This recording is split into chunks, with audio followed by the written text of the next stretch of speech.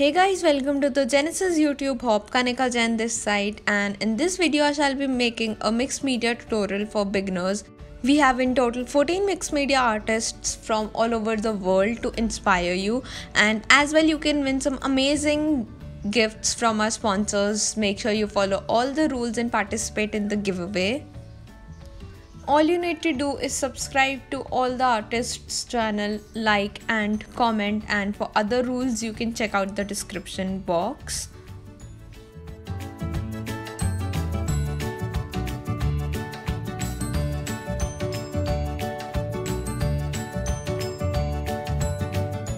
So here are all the artists who are participating in this hop. So now let's get started with the tutorial so that's how my altered brush looks like and I'll be showing tutorial of this today. So that's the brush I'm going to alter today and I'm going to alter it into mixed media project. So first I need to prime the base so that I can work. So here I'm using art basics heavy gesso white and it will act as a primer to the surface so that I can easily work with my other mediums be it colors or all the elements. So here I'm just applying one coat of heavy white gesso as one coat is good to go. And if you want to buy any of these craft supplies which i'm using in this video so the link to all these is in description box so you can check that out as well. So after i'm done priming the one side of the brush I will as well shift on to the next side and prime this side as well so that it looks very nice. So the idea of this hop was to come up something with the tutorials for the beginners to inspire you all or share some new techniques which you can learn from us. So make sure you watch all the videos of all the artists so as you can see I am almost done with the layer of gesso now. So I will let it dry naturally or as well you can heat set it. And if you find your gesso is thick you can add a little bit of water to it as well like how I did now. So for the next step here I have my DIY grainy texture paste which looks like this as this hop is for beginners so if you want to know how to make your own DIY homemade grainy texture paste you can check out my video number 48 or the link to which is in description box and you can learn how to make your own grainy texture paste also, if you're liking these kind of tutorials which I'm posting on my YouTube channel, then do hit the like button. And if you're new to our channel, then don't forget to subscribe to our channel. So this grainy texture paste will actually give a 3D look to the base and you will get a little bit of dimension as well. So till the time it is drying, I shall move on to the next step so here with me I have some of the rectangular shaped chipboard pieces which I have cut already using my chipboard sheet. And I'll be using the IMX art medium gloss to adhere these and give a fox brick effect. You can as well use your any of the liquid adhesive if you don't have these gel mediums. So here i am using my Finnabair silicone brush and with the help of it i am sticking on and i am creating the base layer so that's how you can create your own fox brick look effect and as well as if you don't have any stencil of brick design you can create your own pattern like here how I am showing. So while creating brick effect you need to make sure that you're placing your blocks alternatively and this will give a very nice natural look when you once color the surface so till the time it is drying I shall add some more bricks to the bristle of the brush as well. So as we have used art medium, this will stick permanently onto our base and I love working with this medium as you have time to shift your design if you want to do that as it takes a little bit of more time to dry so you have time to readjust so as the brick look is made out of chipboard so I need to prime this as well so I can color it. Otherwise the chipboard will soak in the color. So here I'm just applying a coat of white heavy gesso again onto this chipboard pieces making sure I'm covering all the sides of this as well Also, if you're creating any of the projects getting inspired from us, then make sure you tag us on social media as we would love to see them and as well would love to repost them. So now we shall move on to color the base. So for that I will be using today my liquid sprays like these ones and as well as some of the acrylic paints. So here I have my IM Mix sprinkle mist in the shade chestnut as I want to give the brick look. So this color I thought would go perfectly with my base.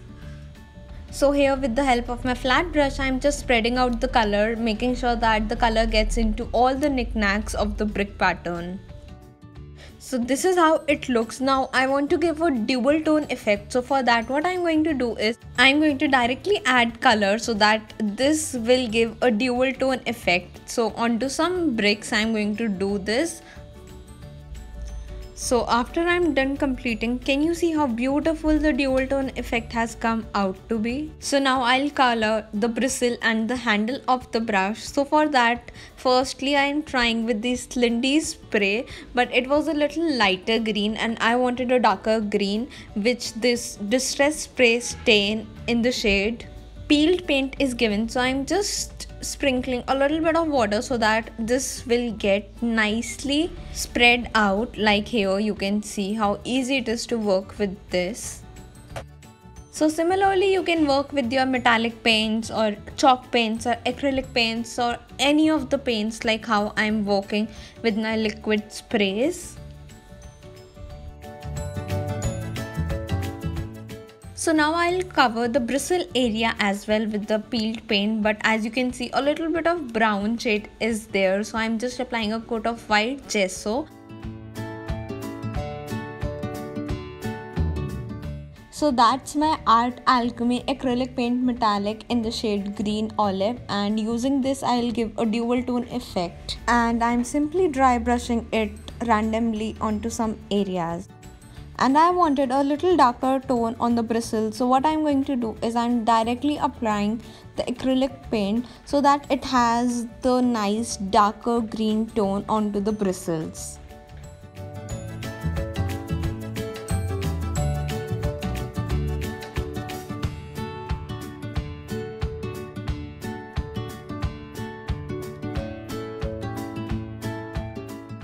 So for the next step i'm going to layer up my project. So for that here i have some of the impressions using my mold. This one is from Finnabair which is the cogs and wings. So for the next step here i have an oval shaped mdf piece so i'm adding it to the center. So onto that here i have some of my cheesecloth and i'll add this randomly onto the MDF base. And then here I have a resin mold. I have this angel and I'll place it right at the center so I want to add more elements so it looks complete. So here I have this chipboard from Expressions Craft which I have split into half and then like this I am adding it to the base. So all these things which I am adding I have already primed them so that it's easier for me to color them. So now this composition looks perfect to me. So using my art medium, I'm going to adhere all these elements and then we will start coloring them.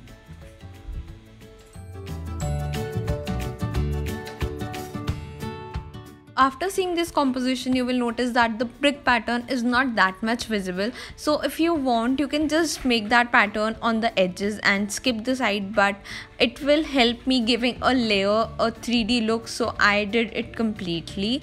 And as well never use your glue gun to adhere all these mixed media elements as you will realize that after some time it will start coming off Another best thing about working with these mediums is that you have a good amount of time if you want to just readjust where you want to place them out and as well they will stick permanently onto the base.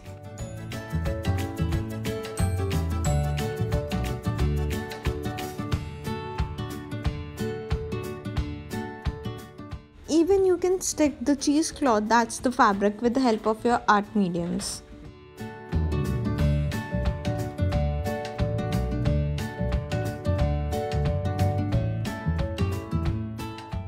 So what next i'm going to do is with the help of cheesecloth i'm giving some layering by folding it up so that once it gets dried up when I apply the layer of gesso it will give a very nice 3D texture and right at the center now I'm placing up my resin mold.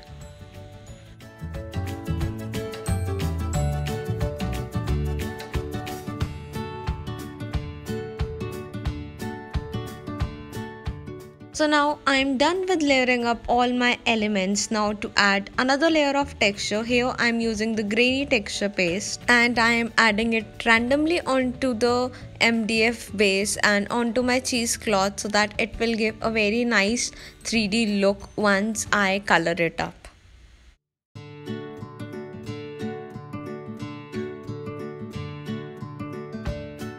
Now I'll start coloring it up here. I'm taking my mix sprinkle mist in the shade chestnut and I'm adding a little bit of water to color it down a little bit and I'm randomly adding the color onto my chippies and onto my wings as well.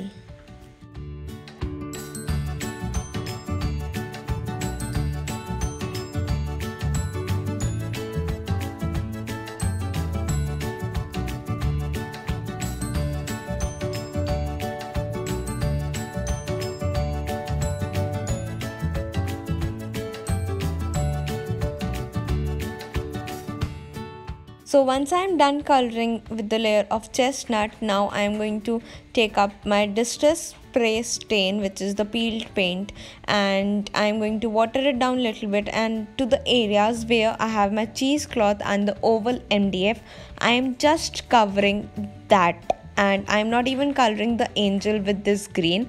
As onto the layer of browns I want the green to pop out a little bit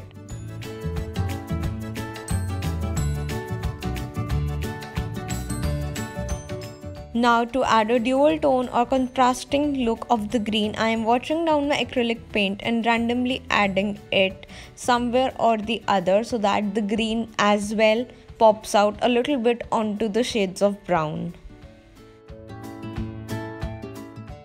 And now randomly I'm adding a little bit of green touch to my chippies as well so that everything looks color coordinated. For the next step here I have my Art Alchemy wax in the shade Electric Violet and I as well have the metallic wax which is old silver and using the electric violet I will just simply color my angel with the help of stencil brush.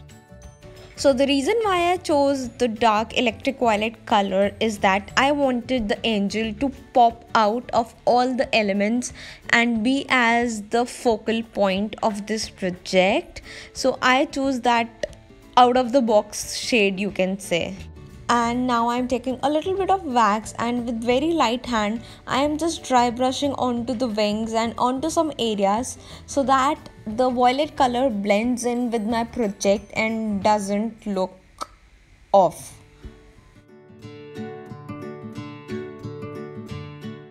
So now for the next step, what I'm going to do is I'm going to take up my old silver metallic wax and I'm taking a little bit on my finger and onto the areas where I have applied electric violet, I'm just rubbing it out so that the elements which have little bit of 3d look pops out and it will give a very nice effect. And randomly i am adding the old silver wax onto some areas of the brush as well just making sure that all the colors coordinate very well with my project. Next here i have my Dress My Craft micro mini pearl beads which looks like this and this will give a very nice finishing look. So i have my funnel tray ready. And here i have the art medium. And i am randomly applying a little bit of art medium here and there. And then i will sprinkle my micro mini pearl beads. So it will add a very nice contrasting look to my project. And it will as well glam up my project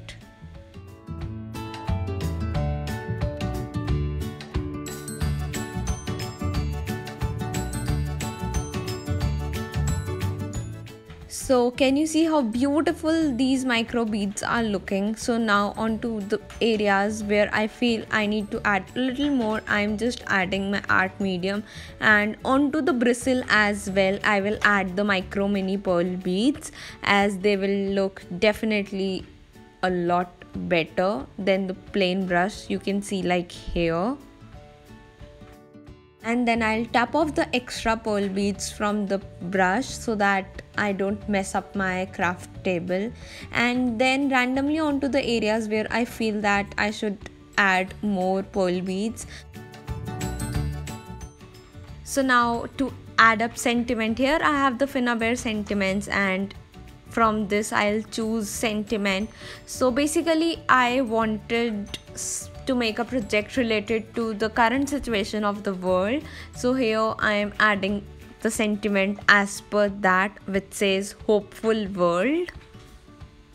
Although they are self-adhesive stickers but as my base has some 3d effect so i want to make sure that i stick them very well. So for that i'm applying my art medium itself as it will make sure they are stuck permanently. And tada we are done so I hope you enjoyed watching this video. So then don't forget to hit the like button. So the next stop for this hop the link to which is in description box. And don't forget to participate in the giveaway. And for the rules you can check out the description box. And this hop will be running out for several days. So for all the details you can check out the description box. I hope to see you soon again with another video. Thanks for watching. Happy crafting